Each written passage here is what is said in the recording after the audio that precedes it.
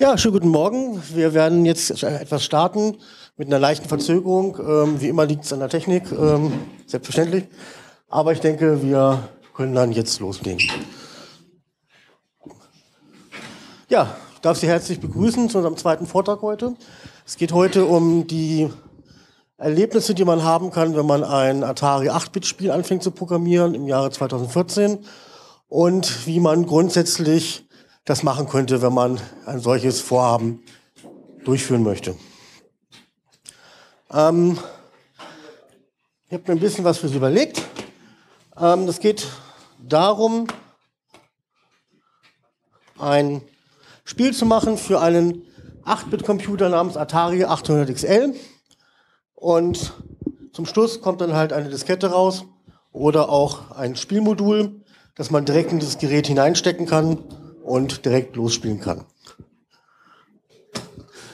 Das werde ich heute mit Ihnen machen. Ich werde Ihnen vorstellen, um was geht es heute eigentlich. Wir werden uns dieses Spiel Dimos Quest angucken. Wir werden schauen, was es für Werkzeuge gibt und äh, was man da beachten muss. Es dreht sich nämlich alles um die Zeit bzw. um die Geschwindigkeit von bestimmten Abläufen und bestimmten Routinen. Wir gucken uns kurz den Hauptprozessor vom Atari an die Unterbrechungen, also die Interrupts, die man dann verwenden kann, um flüssige Abläufe zu erzeugen. Wir gucken uns an, wie die Grafik am Atari organisiert ist, wie man Musik macht und wie man letztendlich eine Spielwelt definiert. Und zum Schluss stelle ich noch ein paar Quellen vor, wo man Hilfe bekommen kann, wenn man ein solches Vorhaben durchführen möchte. Und ähm, ja, bei Fragen, Diskussionen gerne zum Schluss. Wenn Sie zwischendurch Fragen haben, bitte einfach reinrufen weil ähm, wenn die Fragen auftreten, können wir es am besten gleich an der Stelle auch klären, wo sie auftreten. Also keine Scheu haben, einfach Hand hoch oder reinrufen, wenn ich die Hand nicht bemerke und dann klären wir das. Gut. Ähm, Ausgangspunkt ist ein Spiel namens Dimus Quest. Das habe ich mal 1993 schon einmal programmiert für den damaligen Commodore Amiga 16-Bit-Computer. Das sind die oberen beiden Bilder. Das ist professionell veröffentlicht worden über die Firma Böder. Und dieses Spiel wollte ich jetzt vor zwei Jahren einmal rückportieren auf den wesentlich schwächeren Atari 800 XL Computer. Also normalerweise macht man ja den umgekehrten Weg. Man macht normalerweise, upsala, man macht normalerweise ein sogenanntes Remake. Das heißt, man nimmt sich ein altes Material und führt es in die neuere Zeit. Das kennen wir von Hollywood. Wenn irgendwann ein Film in den 70er, 80er, 90er gut war, dann wird er nochmal gemacht. Das wäre ein Remake. Und wir haben jetzt den umgekehrten Weg gemacht. Wir haben ein Ausgangsmaterial, das war jetzt zufälligerweise auch einigermaßen alt, und haben es auf eine schwächere Plattform umgesetzt. So, jetzt habe ich mich vor zwei Jahren, als ich damit gestartet bin, auf viele Fragen vorbereitet. Sowas wie, warum machst du das? Was bringt dir das? Hast du keine Arbeit mehr? Hast du zu viel Zeit? Ähm, auf die Fragen hatte ich eine tolle Antwort. Mir überlegt, aber diese Fragen wurden mir nicht gestellt. Äh, äh, stattdessen hörte ich immer so ein, oh, zeig mal. Und ähm, wenn ich den Leuten das gezeigt habe, dann habe ich fast immer ein Leuchten in den Augen gesehen. Weil fast jeder hatte damals so einen Homecomputer, ob das jetzt ein Atari war oder ein Amiga war oder ein C64, völlig egal. Ähm, aber die Leute haben sich dann gerne daran erinnert und dachten, oh, das ist ja toll. Und auf meiner Reise bei der Programmierung habe ich auch einige schöne Sachen erlebt. Da werden wir gleich noch drauf kommen. So, ähm, das Original hatte ich eben schon erwähnt. 93 von der Hildesheimer Software-Schmiede Infernal Bytes. Das waren neben vier Studienkollegen auch meine Person. Und es gab damals auch Umsetzungen von dem Spiel auf das PC, das lief unter DOS und für das Philips CDI-Spielgerät.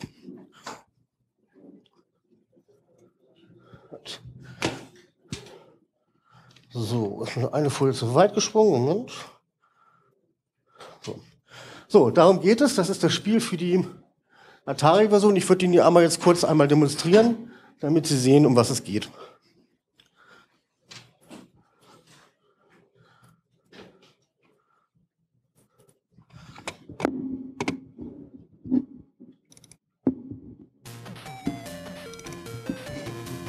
vamos.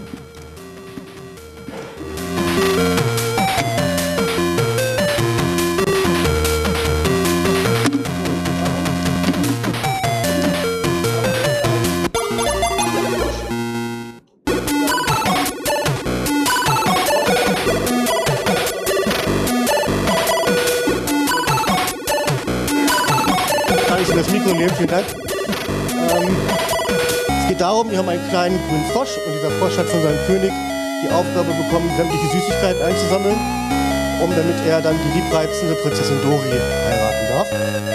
Und die Aufgabe ist relativ klassisch. Man rennt mit dem Frosch rum, man sammelt Süßigkeiten ein. Man sieht zu, dass man sich von den Monstern nicht erwischen lässt. Aber wir haben unendliche Leben, es ist ein friedliches Spiel. Und man sieht hier, kommen in bestimmte Areale nicht rein, weil ich brauche einen Schlüssel. Die Schlüssel sind farbkodiert, das heißt, ich brauche für eine grüne Tür brauche ich einen grünen Schlüssel, für eine rote Tür brauche ich einen roten Schlüssel und so weiter. Es gibt viele verschiedene Spielelemente, die daran hindern, sofort alle Süßigkeiten aufzusammeln. Und was man da alles machen kann, das werden wir dann nachher noch etwas genauer sehen. So.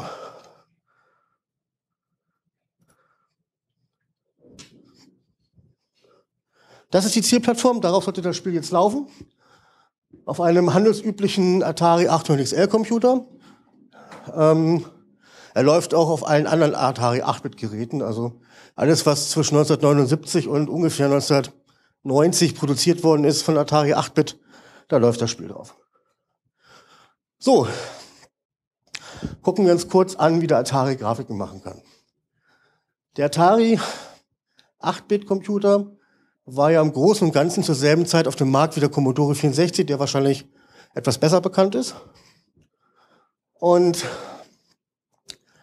der Atari 8-Bit ist ein Nachfolger von der Spielekonsole Atari VCS. Das heißt, er hat viel von den Mechanismen geerbt. Das heißt, wir haben ein sogenanntes Playfield, das ist der Hintergrund. Und da haben wir in der üblichen Darstellung 160 Punkte in der Waagerechten, also von links nach rechts. Und wir haben 200 Bildpunkte senkrecht von oben nach unten. Und das Ganze können wir beim Atari darstellen mit fünf verschiedenen Farben.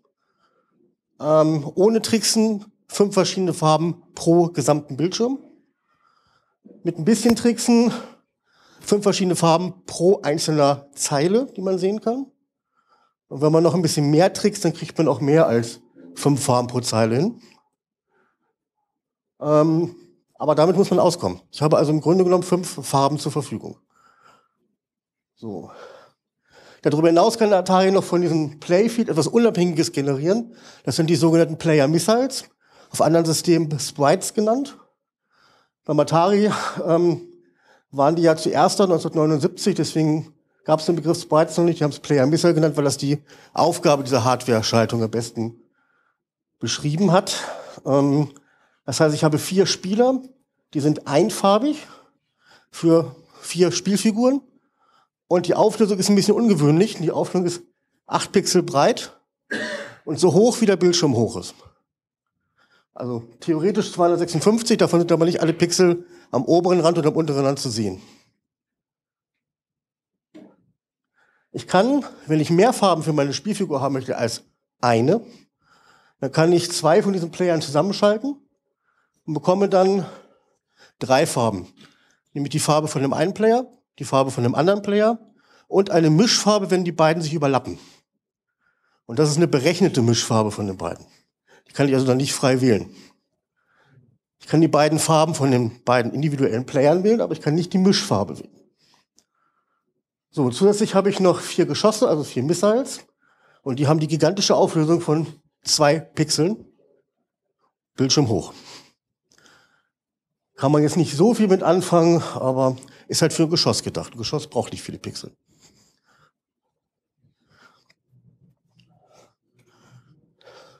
So, das ist die Atari Farbpalette. Wir reden vom Jahr 1979 und wir haben 128 verschiedene Farben.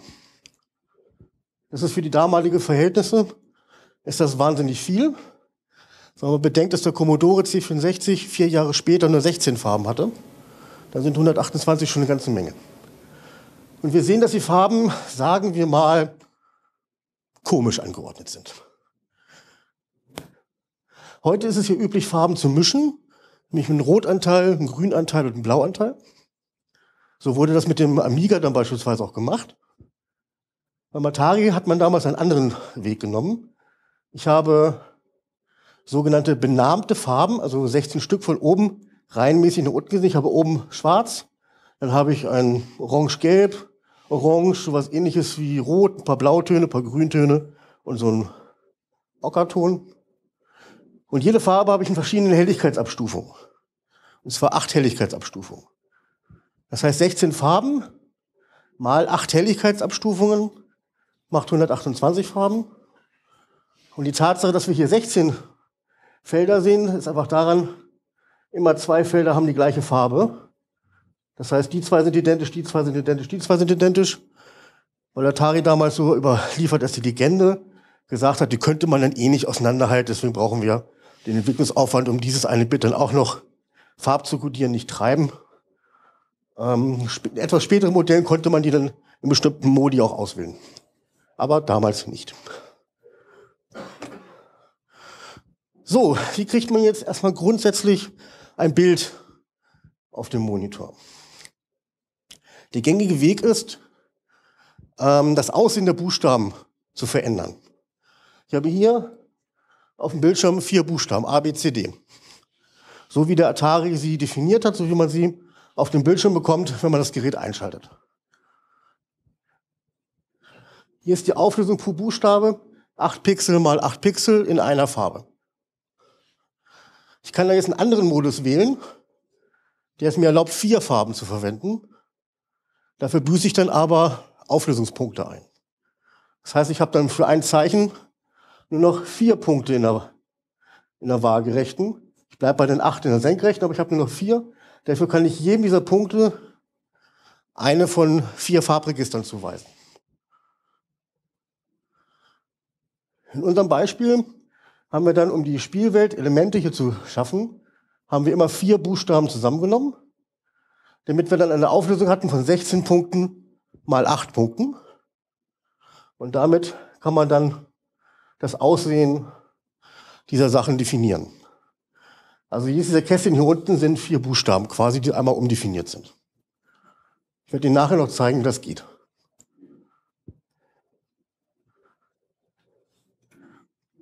So, und so könnte das dann aussehen. Wer den Film Matrix gesehen hat, so könnte das 1979 ausgesehen haben.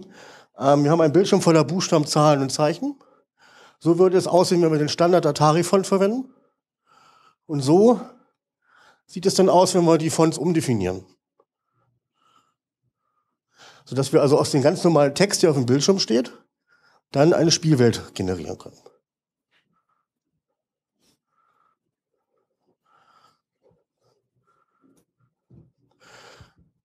So, als nächstes schauen wir uns an, wie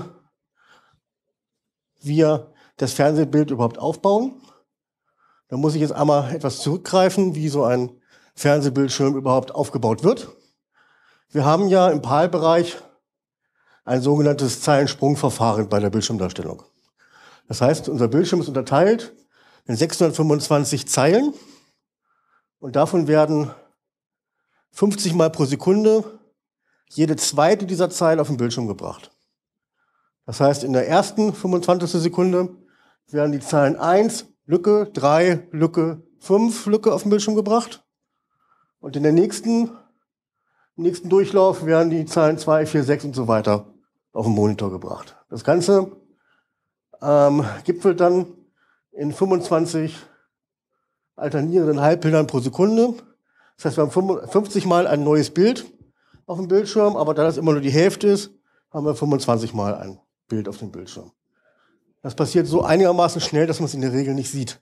Aber bei der Programmierung müssen wir das wissen, weil wir werden uns sehr stark an diesem sogenannten äh, Rasterstrahl ausrichten äh, müssen.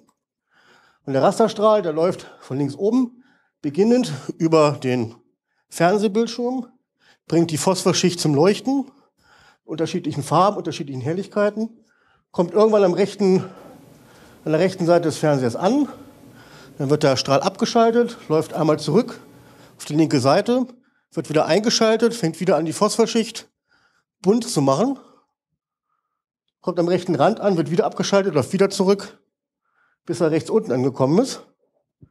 Und dann wird er wieder abgeschaltet und läuft quer diagonal wieder nach links oben. Die Zeit, die er braucht von rechts nach links, ist relativ kurz. Die Zeit, die er braucht von unten nach oben, ist relativ lang. Das, dieser gesamte Durchlauf spielt sich natürlich innerhalb von einer 25. Sekunde ab. Aber für einen Computer ist das eine relativ lange Zeit. Das bedeutet, wenn wir uns mal die, die theoretische Fläche angucken, die der Rasterstrahl durchlaufen könnte, das wäre jetzt hier, hier abgetragen, dann sehen wir, dass nur ein Teil davon für das eigentliche Computerbild verwendet wird. Das ist das, was wir auf dem Bildschirm sehen. Und wenn wir den Fernseher vernünftig eingestellt haben, dann ist das auch ziemlich deckungsgleich mit den Kanten des physikalischen Fernsehgerätes. Aber wenn jetzt der Rasterstrahl kommt und zeichnet eine solche Zeile, dann bricht er ja hier ab und kommt hier in der nächsten Zeile wieder rein. Und die Zeit, die verstreicht, die der Rasterstrahl braucht, von hier wieder nach links zu kommen. Das nennt man Vertical Blank, also die horizontale Austastlücke. In dieser Zeit wird vom Rasterstrahl kein Bild generiert. Und genauso, wenn wir hier unten sind, die Zeit, die wir brauchen, nach oben zu laufen, das ist der Vertical Blank, also die vertikale Austastlücke. Auch in dieser Zeit, die relativ lang ist, wird kein Bild generiert. Aber in der Zeit läuft unser Computer und die CPU trotzdem weiter. Das ist deswegen wichtig, weil ich habe ja gesagt, wir können beim Atari eigentlich nur fünf Farben pro Bildschirm darstellen. Wir möchten aber mehr haben. Und das würde bedeuten, dieser Hintergrund, der hier so ein bisschen verlaufen ist von, mit verschiedenen Farben, ist eigentlich immer die gleiche Farbe. Das gleiche Farbregister, was verwendet wird. Eins von den fünfen. Aber an diesen Stellen hier wird das Farbregister mit einer anderen Farbe befüllt. Das heißt, es gibt irgendeinen Punkt, da kommt die CPU und sagt, liebes Farbregister, dass du den Wert hast für den Hintergrund, wo der Rasterstrahl die Farbinformation herauszieht, um jetzt den Punkt auf dem Monitor farbig zu machen. Du bekommst jetzt einen neuen Wert. Du enthältst eine neue Farbe. Das heißt, die, die CPU muss das irgendwann erneut hineinschreiben in dieses Register. Und wenn ich das irgendwann mache, dann kann das sein, dass der Umbruch irgendwo auf dem Monitor ist. Das heißt, es würde flackern. Das heißt, man versucht, diese Umstellung zu machen, wenn der Rasterstrahl gerade nicht gezeichnet wird. Sprich außerhalb des sichtbaren Bereichs. Deswegen muss man als Programmierer wissen, wo ist der Rasterstrahl, um einen Moment abzupassen, wo der Rasterstrahl gerade kein Bild malt, um dann die Farbregister zu verändern.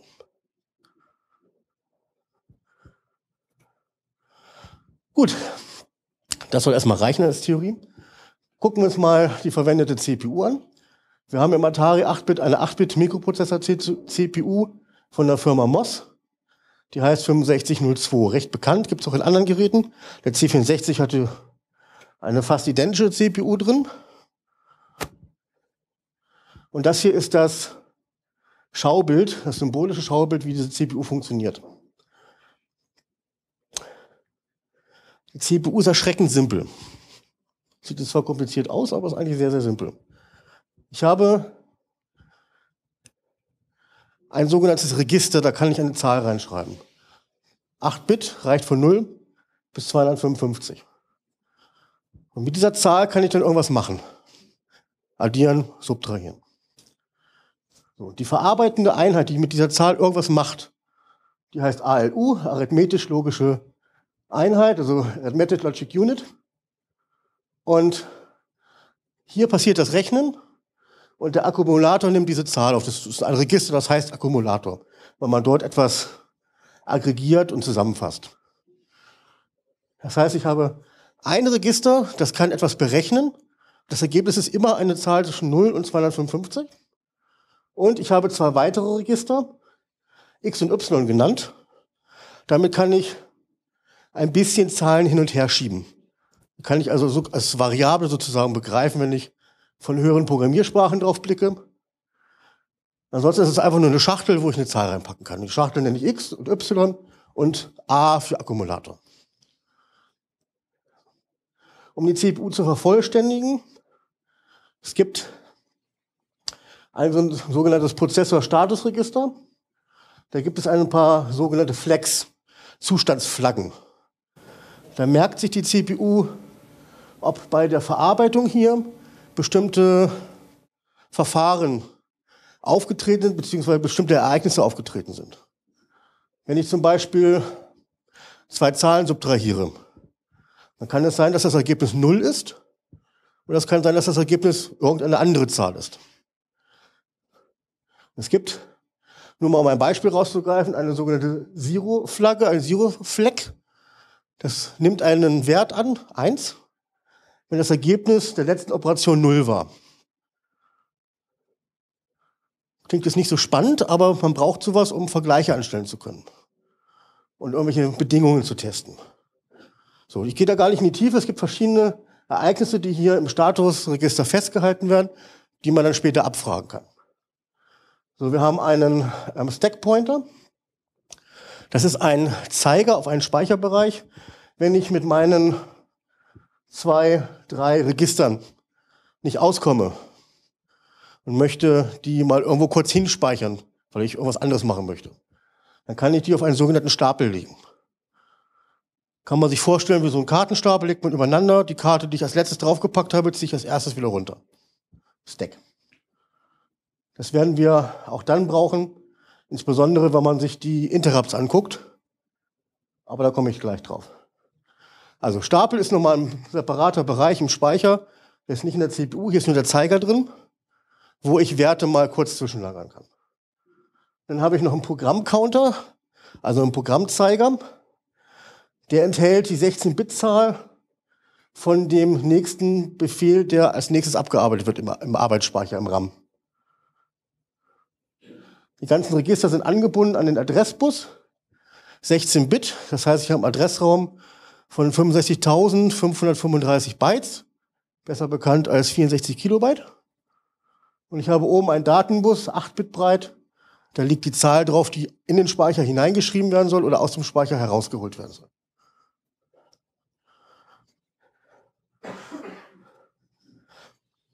Gucken wir uns mal ein paar einzelne Befehle an. Wir, gucken, wir werden jetzt nicht alle durchnehmen, das wäre jetzt ein bisschen zu viel. Wer da Interesse daran hat, es gibt morgen, glaube ich, einen Vortrag von Sven Oliver, der sich damit beschäftigt. Aber nur mal als Beispiel. Ein Befehl beim 6502-Programm ist grundsätzlich erstmal ein ganz normales Byte. Also sprich eine Zahl von 0 bis 255. Ein sogenannter Opcode. Und diese Befehle gibt es in drei Varianten. Es gibt Befehle, die haben nur ein einziges Byte.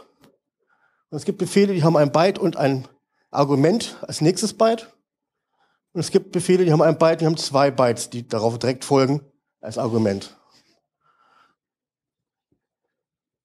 Also ein Beispiel für einen Einbyte-Befehl wäre der Befehl RTS, Zahl hexadezimal 60. Das ist ein Befehl, der nur aus einem Byte besteht, der Zahl heximal 60. Da weiß die CPU, jetzt soll ich von einer Routine, die vorher angesprungen wurde, soll ich einfach zurückspringen. Da brauche ich kein Argument, das ist einfach nur die letzte Routine zurücknehmen und zurückspringen. Oder INX, hat den Wert hex E8. EX heißt einfach nur, der Inhalt, der in meinem Register X steht, soll um 1 erhöht werden. Das heißt, die Zahl, die drin steht, ist jetzt um 1 erhöht, weil die Zahl vorher 255 ist die Zahl danach 0. Und das Überlauffleck wird gesetzt. Dann haben wir Lade- und Speicherbefehle ganz oben LDA, Doppelkreuz Dollar $FF, bedeutet, LDA steht für Load Akkumulator. Das heißt, ich soll, aus, soll einen Wert mir nehmen und ihn in das Akkumulatorregister packen. Und welcher Wert das ist, das steht direkt dahinter. Steht da als erstes ein Doppelkreuz, heißt das, jetzt kommt ein direkter Wert. Also die Zahl, die da wirklich steht, die wird genommen und in den Akkumulator gepackt, ins Register A. In diesem Fall $FF, das wäre die Zahl 255, die befindet sich danach im Register A. Beim nächsten Beispiel steht LDA Dollar ohne das Kreuz davor und dann C000. Dadurch, dass das Doppelkreuz fehlt, heißt das, das ist kein direkter Wert, sondern was jetzt kommt, ist eine Speicheradresse im, am Arbeitsspeicher. Das heißt, in diesem Fall lädt er das eine Byte, das wir an der Adresse C000 im RAM finden und lädt dieses, den Inhalt dieser Speicherstelle in, den Arbeit, in das Register A. Da gehe ich jetzt nicht weiter ein, aber das ist ungefähr, das sind so die Befehle, mit denen man sich dann in seiner Assembler-Programmierung herumschlägt. So. Wie kommt man jetzt wirklich ins Programmieren? Es gäbe die Möglichkeit natürlich, sich den Atari zu nehmen und auf einer, auf diesem Gerät laufenden Assembler sein Programm zu schreiben. Hat den Charme, dass es so ist wie früher, hat den Nachteil, dass es sehr langsam ist und dass man sich den begrenzten Arbeitsspeicher von 64 Kilobyte mit dem Quellcode, mit dem kompilierten Programm und mit dem Assembler selber, mit dem Übersetzungsprogramm noch teilen muss. Wir haben jetzt heute die Möglichkeit, so das Cross-Assembling zu machen mit ähm, Werkzeugen, die sogar kostenfrei sind. Es gibt hier eine Entwicklungsumgebung, die heißt ähm, Eclipse. Und damit kann man verschiedene Programme für PC, für Mac schreiben. Und da gibt es ein sogenanntes Plugin, eine Komponente, die da hinein installiert wird. Die nennt sich Wutzten. Und mit dieser Komponente kann man für Retro-Computer Programme schreiben. Also für Atari, für NES, für C64, für verschiedene Retro-Geräte. Das heißt, ich habe hier unter Windows oder unter macOS habe ich die Möglichkeit, mit meinem schönen großen Bildschirm, mit meiner Maus, mit Copy und Einfügen Programme zu schreiben. Sehr bequem.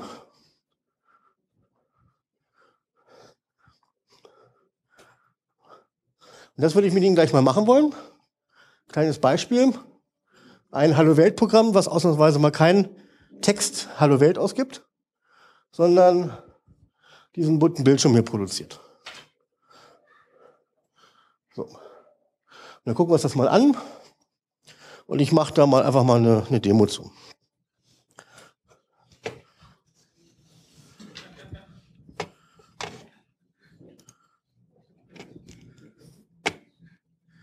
So, ich starte jetzt meine Entwicklungsumgebung Eclipse.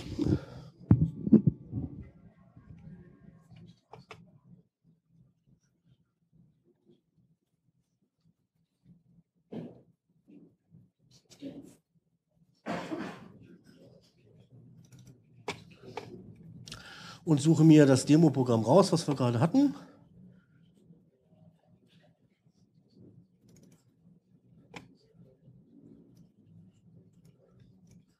So, ich zeige Ihnen mal, was rauskommt.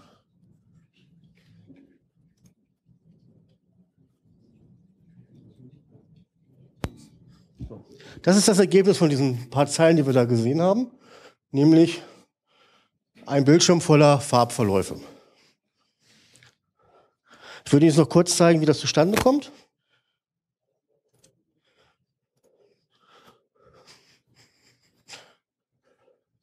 Das Programm ist ja einigermaßen übersichtlich, wie wir sehen. Das, was grün sind, sind Kommentare. Das sind einfach nur, damit man es als Mensch besser verstehen kann. Das eigentliche Programm ist das, was da in schwarz und in blau und ein bisschen rot ist. Die erste Zeile, org hex 2000, heißt einfach Origin. Das heißt, hier wird mitgeteilt, wo im RAM-Speicher soll dieses Programm abgelegt werden. Wir haben einen RAM-Speicher, der geht von 0, von Byte Nummer 0 bis Byte Nummer 65.535. Und davon nehmen wir jetzt das Byte, das an hexadezimaler Schreibweise das Byte 2000 ist. Also irgendwo so in der, fast in der, nicht, nicht in der Mitte des Speichers, aber irgendwo mitten im Speicher. Das nächste, was da steht, ist Start Doppelpunkt. Das ist ein Label. Das heißt, für Menschen merkbarer Name. Für den Computer ist das eher uninteressant. Der Computer braucht RAM-Adressen. Aber für uns als Menschen ist das immer gut merkbar. Start Doppelpunkt liegt in diesem Fall also bei Hex 2000 im Speicher. So, ähm, das der erste Befehl ist LDA Doppelkreuz 0. Das hatten wir eben schon mal kurz angerissen. Ich lade mir den Wert 0, die direkte Zahl 0, in den Akkumulator. Das heißt, in meinem Register A steht jetzt die Zahl 0. Der nächste Befehl, STA hex 022f, schreibt diese Zahl, die ich im Akkuregister habe, in den Arbeitsspeicher an die Stelle 22f. Und wenn ich das tue, bewirke ich beim Atari-Computer, dass alles abgeschaltet wird, was mit DMA-Zugriff zu tun hat. Das würde jetzt nicht bei anderen Computern funktionieren, weil dort die Speicherstelle 22F eine ganz andere Bedeutung hat. Beim Atari ist das halt ein Befehl. Vielleicht kennen einige von Ihnen noch die Poke-Befehle, die man so unter Basic abgesetzt hat. Das wäre quasi die Entsprechung davon. So, nächstes Befehlszeile enthält das Label Loop und ich hole mir wieder eine Zahl in mein Akkuregister, LDA $D40B. Und hier wird jetzt nicht die Zahl D40B in meinen Akku geladen, sondern der Inhalt, der in der Speicherstelle D40B steht. Und dort hält der Atari für uns bereit die Information, wo der Rasterstrahl sich befindet, in welcher Zeile. Das heißt, da stehen Werte drin, ich vereinfache jetzt mal zwischen 0 und 255. Das heißt, ich weiß dann also, in welcher, welche Zeile wird auf dem Bildschirm gerade gezeichnet. Die Zeile Nummer, das, was in dem Register steht. Und dann nehme ich mir diese Zahl, die ich jetzt im A-Register habe, und speichere sie in die Speicherstelle D40A. Damit wird die Atari-CPU, die 6502-CPU, schlafen gelegt. Das heißt, egal wo ich mich jetzt gerade befinde, wo der Rasterstrahl gerade ist, die CPU wird jetzt angehalten und es wird gewartet, bis der Rasterstrahl den rechten Bildschirmrand erreicht hat. Danach wird die CPU wieder eingeschaltet. Das heißt, mit dem Befehl SDA $D40A kann ich sicher sein, dass der nächste Befehl ausgeführt wird, wenn der Rasterstrahl gerade am rechten Rand ist. Die nächste Zeile ist die entscheidende. SDA $D01A. Das D01A ist das Farbregister, wo die Hintergrundfarbe drin steht. Das heißt, hier schreibe ich jetzt die Nummer der ausgegebenen Bildschirmzeile als Farbnummer in das Farbregister rein. Da ich ja, und dann Jump Loop, springe ich wieder zu dem Label Loop. Das heißt, ich mache wieder, ich bin ja am rechten Rand, ich hole mir die Information, in welcher Zeile bin ich jetzt, lege mich bis zum Ende der Bildschirmzeile schlafen und schreibe diesen Wert ins Farbregister rein. Und das wiederhole ich immer wieder, immer wieder, immer wieder. Das heißt, die, die Hardware-Komponente, die dafür da ist, den, den Bildschirm zu beschreiben, das, was in Hardware gegossen ist, das guckt in dieses Farbregister, also in die RAM-Speicherstelle D01A, holt sich die Information, welche Farbe da drin ist und färbt die nächsten Pixel dieser Farbe auf dem Monitor ein. Und deswegen sehen wir, wenn wir uns das Ergebnis angucken, genau das. Der Programmcode wird ausgeführt, holt die Information, wo ist die Rasterzeile, springt, wartet bis zum rechten Rand, setzt das Farbregister an dieser Stelle und für den nächsten Durchlauf hat der Hintergrund dann eine andere Farbe. Technisch gesehen ist das alles quasi die Hintergrundfarbe. Also Farb, mit demselben Farbregister. Bitteschön.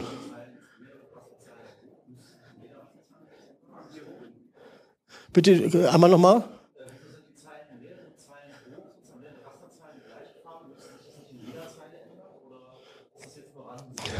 Das ist jetzt der Auflösung unseres Monitors geschuldet. Wenn man auf dem Laptop hier schauen würde, dann sieht man, dass das, was wir auf dem Monitor sehen, nur ein kleiner Teilausschnitt ist.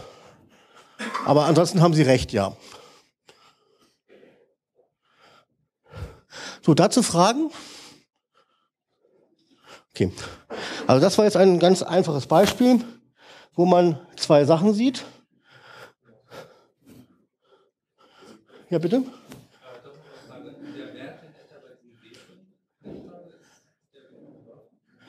Entschuldigung, achso, bei dem. Ähm, die Frage war, ob der Wert, den ich bei D40A reinschreibe, von Bedeutung ist. Ähm, ist er beim Atari in der Tat nicht. Es geht einfach darum, wenn ein Schreibzugriff auf diese eine spezielle Speicherstelle stattfindet, dann wird die CPU angehalten. Es macht überhaupt keinen Unterschied, welchen Wert ich reinschreibe, sondern nur, dass ich einen Wert reinschreibe. Gut, weitere Fragen? Bitteschön.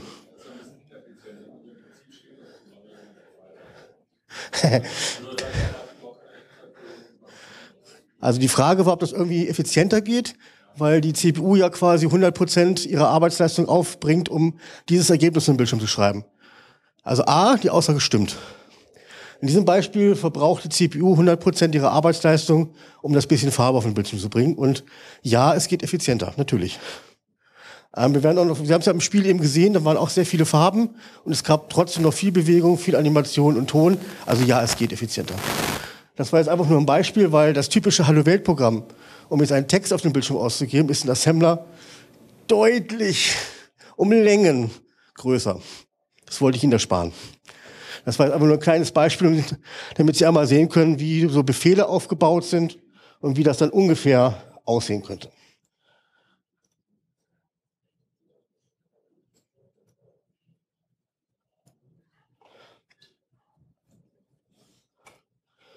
So, dann gucken wir uns jetzt ein Beispiel an, wie man jetzt letztendlich mit diesen Informationen die Spielwelt erzeugt. Und zwar hatte ich ja vorhin schon kurz gesagt, dass man grob gesagt die Buchstaben umdefiniert. Und dazu gibt es verschiedene Hilfsprogramme. Die meisten davon laufen direkt auf dem Atari. Da ich meine Entwicklung aber nicht auf dem Atari mache, sondern auf dem Windows-System, habe ich mir einen eigenen Editor geschrieben. Und das ist dieser hier. Ja, das ist, die Auflösung ist nicht ganz. Oben steht nichts Wichtiges mehr, können wir ignorieren.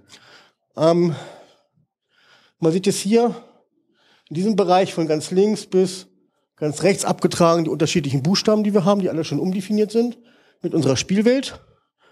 Und mein Editor nimmt sich immer vier Buchstaben und lässt die dann bemalen. Das heißt, ich habe hier oben fünf Farbregister, die ich auswählen kann. Einmal die vier, schwarz, blau, grau, gelb. Und einmal eine ominöse fünfte Farbe, die Gleichbedeutung bekommt. So, ich kann mir also mir ein Farbregister wählen und kann dann damit einzelne Punkte setzen, wie ich das gerne hätte. Und kann damit ein Element meines Spieles zeichnen. Wenn ich jetzt mehrere davon zeichne in unterschiedlichen Darstellungen, dann kann ich damit auch eine kleine Animation erreichen. Das heißt, ich zeichne einfach drei verschiedene Bilder, wo die Grafiken gleich unterschiedlich sind und zeige die hintereinander einfach auf dem Bild wie ein Daumenkino. So, ähm, das dazu.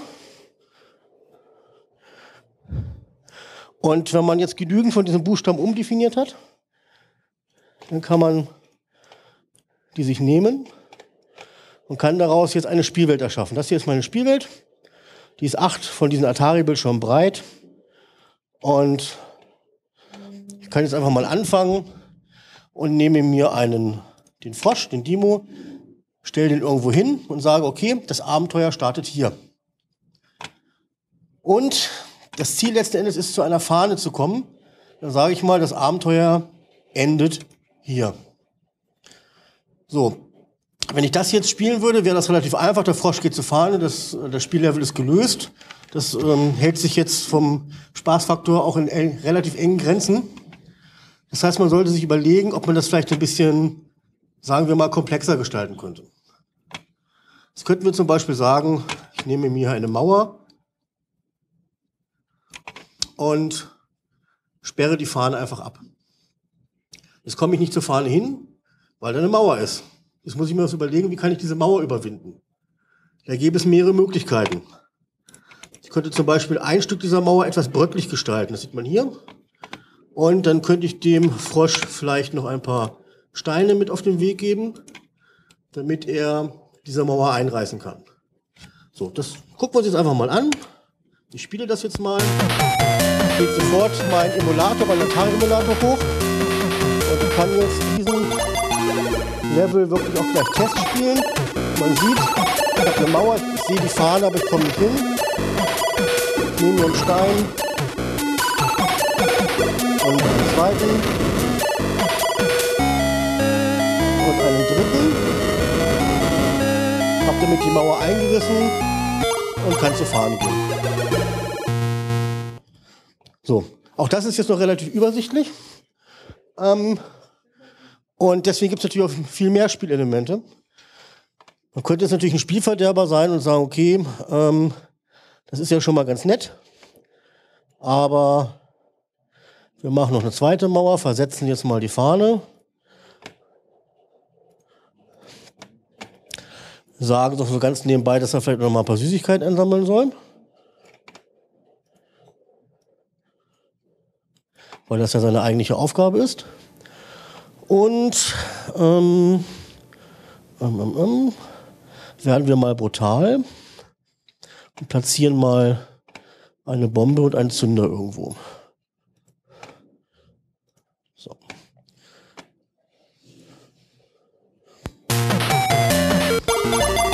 So, jetzt ist der Level ein bisschen komplexer. Also erstmal den Weg machen.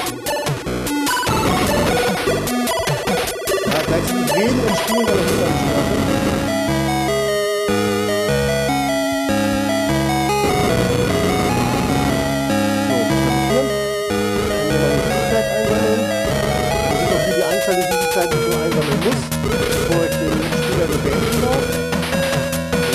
Null, braucht keine mehr.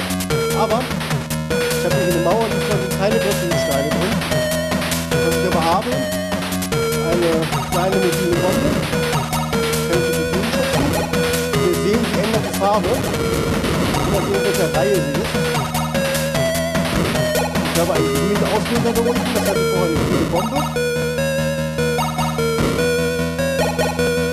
Ich kann dann damit den Weg freisprengen und dann zur Fahne gelangen. So, das soll als Beispiel reichen. Wir sehen hier unten abgetragen viele Spielelemente, mit denen man diese Spielwelt aufbauen kann. Wir haben also Türen in verschiedenen Farben. Wir haben Schlüssel, die dazu passen müssen in der Farbe. Wir haben Wasserfelder und wir haben selbstverständlich einen Frosch, der nicht schwimmen kann. Deswegen muss der Frosch sich erst einen Rettungsring besorgen, bevor er über Wasser gehen kann. Wir sehen also ähm, biologisch völlig korrektes Vorbild. Wir haben die Möglichkeit, einen Stein ins Wasser zu schubsen und Brücken zu bauen. Wir haben Teleporter, die uns in unterschiedliche Areale bringen. Wir haben zum Beispiel Richtungspfeile. Wenn der Frosch da drüber läuft, dann muss er in die Richtung gehen, die dieser Pfeil zeigt. Wir haben Schalter, die bestimmte Areale umschalten können, die also vielleicht einen Weg freischalten. Und viele Spielelemente mehr. Wir haben Eisflächen, wo man Spikes haben muss, damit man kontrolliert drauf laufen kann und ähnliches. So, diese ganzen Spielelemente kann man in unterschiedlichen Kombinationen nehmen, sich überlegen und die dann oben in der Spielwelt platzieren und kann die dann immer gleich Test spielen. Wer da dann Interesse haben würde, den lade ich sehr gerne ein zum Workshop, der heute Nachmittag stattfindet, ab 14 Uhr, zweiten Stock im äh, Signallabor. Da hätten Sie die Möglichkeit, einen solchen Level selber zu gestalten und können den dann noch mitnehmen nach Hause und zu Hause dann auf den Emulator dann auch spielen. Also wer mag, 14 Uhr heute, zweiter Stock, Fahrstuhl ins Signallabor. Dazu Fragen? Okay.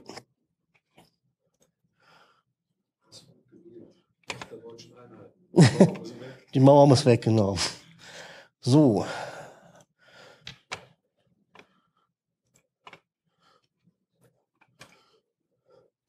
Das haben wir gemacht. So, als nächstes Thema Musik.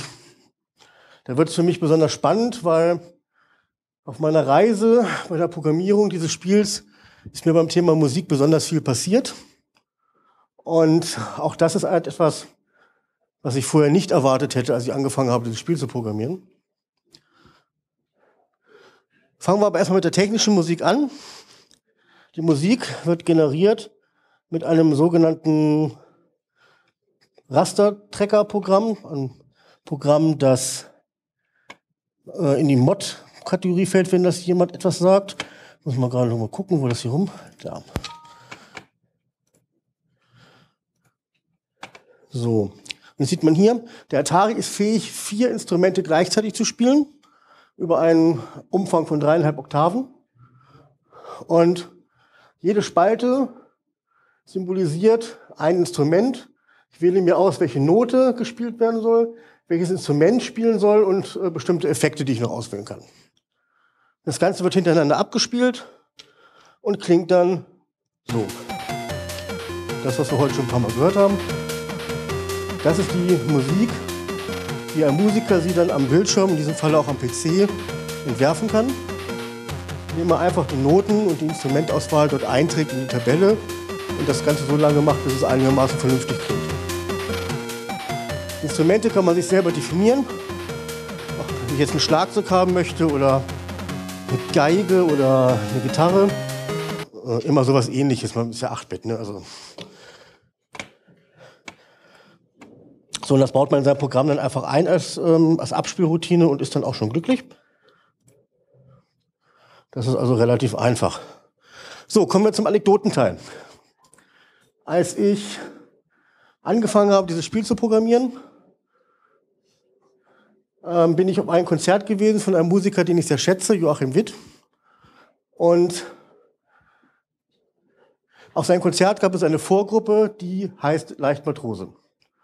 Und diese Vorgruppe ist mir deswegen aufgefallen, weil in dem damals aktuellen Video, habe ich jetzt nicht dabei, schade, ähm, lief der Gitarrist mit einem Atari-Bildschirm rum, mit einem Atari-T-Shirt rum. Und bei sowas habe ich immer einen Reflex, wenn ich das bei Facebook sehe, da schreibe ich drunter geiles T-Shirt. So, es kam es, dass ich an diesem Konzert von Joachim Witt war, die Vorgruppe Leichtmotor war auch da. Ich hatte natürlich ein Atari-T-Shirt an und der Gitarrist kam auf mich zu und sagte, du hast mir das da drunter geschrieben. Und ich so, ähm, ja. Und dann kam wir ins Gespräch und dann haben wir festgestellt, dass er auch Atari-Fan ist, aber die 16-Bit-Ataris. Und ich war halt ein 8-Bit-Atari-Fan und dann haben wir uns einmal zum Spielen verabredet dass ich ihm mal zeige, was er als 8-Bit verpasst hat bei Atari. Und wir trafen uns in seinem Studio und haben einen Nachmittag verbracht, Atari 8-Bit zu zocken. Das muss man dazu sagen, Hilton Tyson ist Musikproduzent mit eigenem Studio. Man sieht jetzt mal hier zum Beispiel das Mischpult im Vergleich zu meinem kleinen Atari. Und er war da so glücklich den Nachmittag, dass er gesagt hatte, Mensch, ich hatte damals auch ein C64, ich musste mal wieder aus dem Keller holen. Ich müsste mal ein aktuelles Musikstück auf so ein 8-Bit-Gerät umsetzen. Ich bin total begeistert. Und ich sagte, was ein Zufall, ich programmiere gerade ein Spiel und ich habe noch keine Musik. Und er sagte, du hast doch keine Musik, ich mach die Musik. Was brauchst du? Du brauchst ein Titellied, du brauchst eine Intro-Musik, du brauchst Jingles. Das mache ich dir. Und er macht es. Ähm, dann hat er gesagt, und dann, dann nehmen wir doch den Sänger von Leichtmatrose, den verdonnern wir dazu, dass er noch ein Musikstück draus macht mit richtigen Instrumenten und dass er dazu singt. Ja, vor einem Jahr stand ich hier und habe gesagt, das ist der Plan. Heute stehe ich hier und sage, wir haben es gemacht. Also ich habe jetzt wirklich ein Lied von den beiden netten Menschen, Hilton Tyson, Andreas Stitz, die für mein kleines Atari-Spiel unentgeltlich ein Musikstück programmiert und besungen haben. Bin da total begeistert und sage an dieser Stelle nochmal Danke dafür, ähm, weil mich das einfach total umhaut. So, dann, weil ich ja dieses Spiel 1993 schon mal für den Amiga gemacht habe und jetzt ein D-Make davon mache auf einer schwächeren Plattform, habe ich mir in den Kopf gesetzt, dass der Atari etwas macht, was der Amiga damals ohne Probleme hätte machen können, aber nicht getan hat, nämlich digitalisierte Sprache abzuspielen. Und wie der Zufall das so will, habe ich durch glückliche Fügungen ähm, prominente Sprecher bekommen für mein Spiel. Das heißt, der Hauptcharakter, Dimo, wird gesprochen von Hannes Malecki, das ist der Sänger der Band Welle Erdball. Den König Grünfuß wird gesprochen von Joachim Witt. Wer ihn nicht kennt, der Goldene Reiter und die Flut. Die königliche Fee wird gesprochen von der Sängerin Diana Werner von der Gruppe Herzinfarkt. Und die Prinzessin Dori von Linda Mödelbeck von der Band Versus. Da habe ich etwas gelernt, was ich äh, seitdem zu meinem Lebensspruch erhoben habe, nämlich Man muss einfach mal fragen. Ich habe einfach mal gefragt und ich habe ein Ja, mache ich dir als Antwort bekommen. Das finde ich großartig. Also wenn ich mir überlege, dass ich seit 30 Jahren die Musik von Joachim Witt höre und er jetzt ein Teil meines kleinen Spieles ist, finde ich das einfach wahnsinnig unbegreiflich schön. So, jetzt muss ich natürlich noch Werbung machen. Der Joachim Witt ist äh, ab nächster Woche auf Tour, rein zufällig. Ich werde dafür nicht bezahlt. Aber wer ihn sehen möchte, Berlin, 29.10. hier im C-Club. Und in einigen anderen Städten. Leichtmatrose ist auch in Hamburg, Berlin und Leipzig dabei. Wer kommen mag, sollte das tun, weil es lohnt sich wirklich.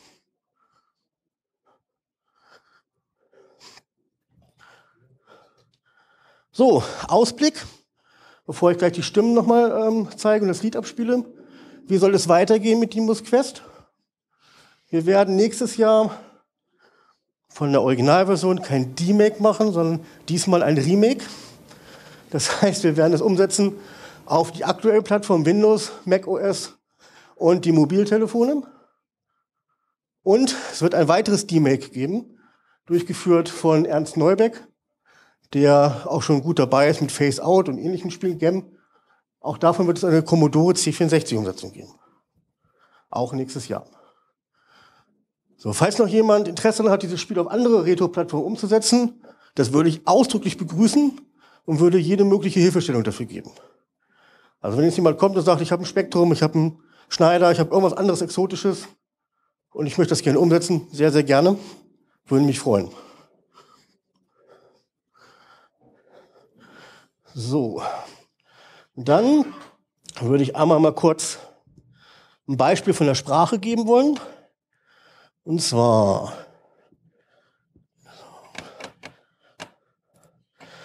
der Atari kann digitalisierte Sprache abspielen, aber natürlich nicht in so einer wahnsinnig guten Qualität, weil wir reden davon, dass wir eine Sample-Auflösung von 4 Bit haben. Nicht 8 oder 32 oder 44 wie auf CD, sondern 4. Und das Ganze klingt dann so, das Beispiel, was ich jetzt abspielen werde, kommt dann von einem echten Atari. Ähm, das war jetzt meine Stimme und sie war einfach nur ins Blaue in so ein, in so ein eingebautes Mikrofon vom Monitor gesprochen, also nicht professionell im Studio aufgenommen, nicht nachbearbeitet, sondern einfach nur so abgespielt. Möchtest also zu meiner Tochter. So, Timo, du möchtest also zu meiner Tochter so, wir sehen jetzt hier, das, was hier grafisch ausgegeben wird, ist, hier fängt die Routine an, färbt erstmal den Bildschirm rot, damit man wissen, wo man ist, bestückt den Lautsprecher mit den Informationen von dieser Sprache und schaltet den Hintergrund wieder auf schwarz. Man sieht also, dass die Audioerzeugung mir ungefähr ein Drittel meiner Rasterzeile klaut. Das heißt, diese digitalisierte Sprache abzuspielen, kostet Prozessorzeit. Ich muss das nur jede zweite oder dritte Zeile anstoßen, das reicht. Aber von dieser Zeile fehlt mir Prozessorzeit. Aber es muss kontinuierlich gemacht werden. Also es reicht nicht aus, einmal pro Bildschirmdurchlauf ähm, den Tonwert zu verändern, sondern ich muss das wirklich ja, so ungefähr 6000 Mal pro Sekunde machen. Also im Schnitt ungefähr jede zweite oder jede dritte Rasterzeile muss ich die Lautstärkeinformationen vom Lautsprecher ändern, damit ich einen Wellenmuster habe, was letztendlich da tun wird. So, jetzt könnt ihr noch mal ein Beispiel geben, wie der Ton dann bei professionellen Sprechern klingen soll. Das ist jetzt natürlich kein Beispiel, das vom Atari kommt, sondern das muss erst in den Atari rein, aber ich habe die Texte erst vor einer Woche bekommen.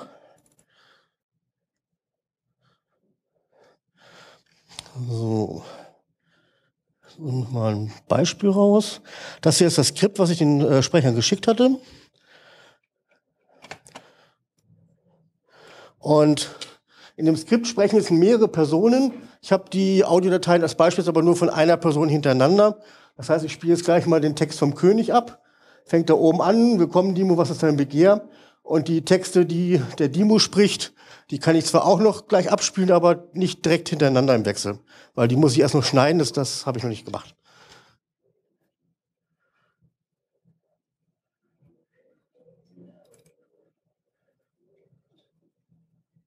Prolog. Willkommen bei Dimos Quest. Willkommen, Dimo. Was ist dein Begehr? Du?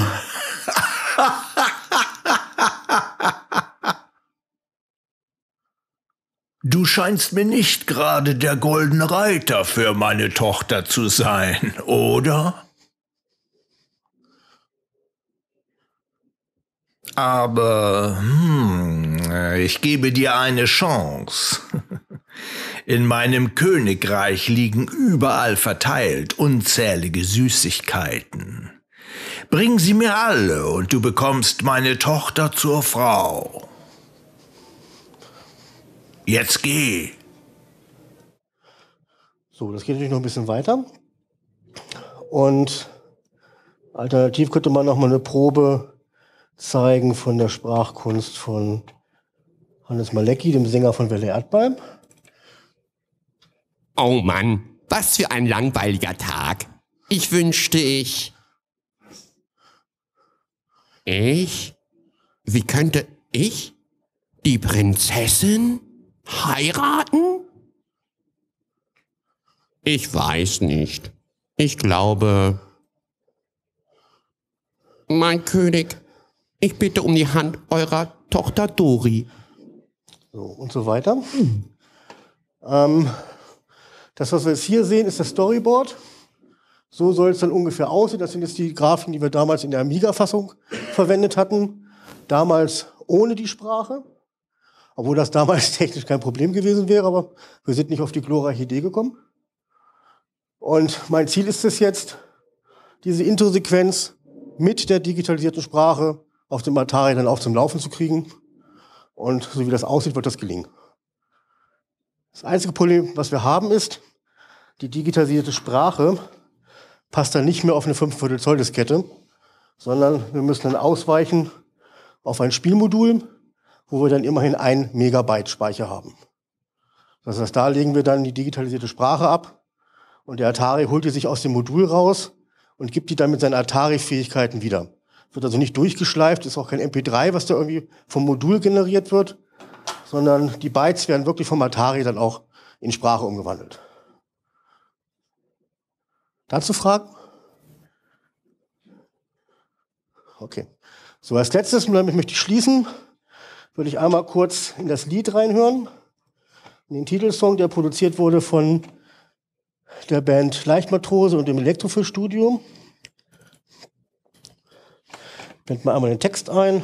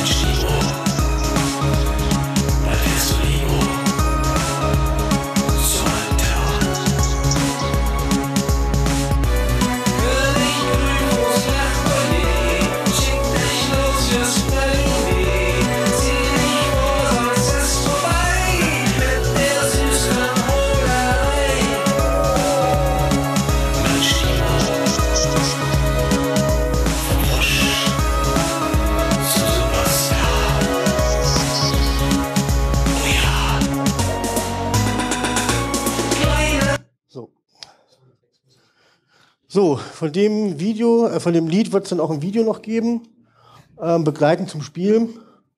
Und das Lied wird es dann natürlich auch in die Remake-Fassung schaffen, da dann in voller Qualität. Und ja, da muss ich einfach sagen, danke an die Beteiligten, die es mir ermöglicht haben, mein kleines Spiel ähm, so derart zu bereichern. Ähm, ich bin da sehr, sehr glücklich drüber, sehr dankbar dafür. Und ich kann eigentlich nur jeden ermutigen, vielleicht einen ähnlichen Schritt zu wagen, sich seine Lieblings-Retro-Plattform auszuakkoren und dann einfach mal ein Spiel zu schreiben. Es könnten interessante Sachen passieren auf dem Weg. Und ich kann Sie dazu nur ermutigen.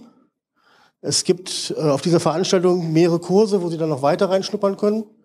Wie gesagt, um 14 Uhr könnten Sie zu diesem Spiel einen eigenen Level beisteuern, der es dann auch auf die Modulversion schaffen würde, wenn Sie es denn möchten. Dann wären Sie Teil dieses Spiels mit einem Level. Und alternativ wird morgen Nachmittag ein Workshop stattfinden, wo man die Atari-Spielkonsole VCS 2600 programmieren kann. Ein sehr interessanter Beitrag, habe ich letztes Jahr auch schon mal daran teilgenommen, kann ich auch nur wärmstens empfehlen. So, haben Sie noch Fragen? Dann bedanke ich mich für Ihre Aufmerksamkeit, danke fürs Hiersein und vielleicht sieht man sich bei irgendeiner anderen Gelegenheit mal wieder. Dankeschön.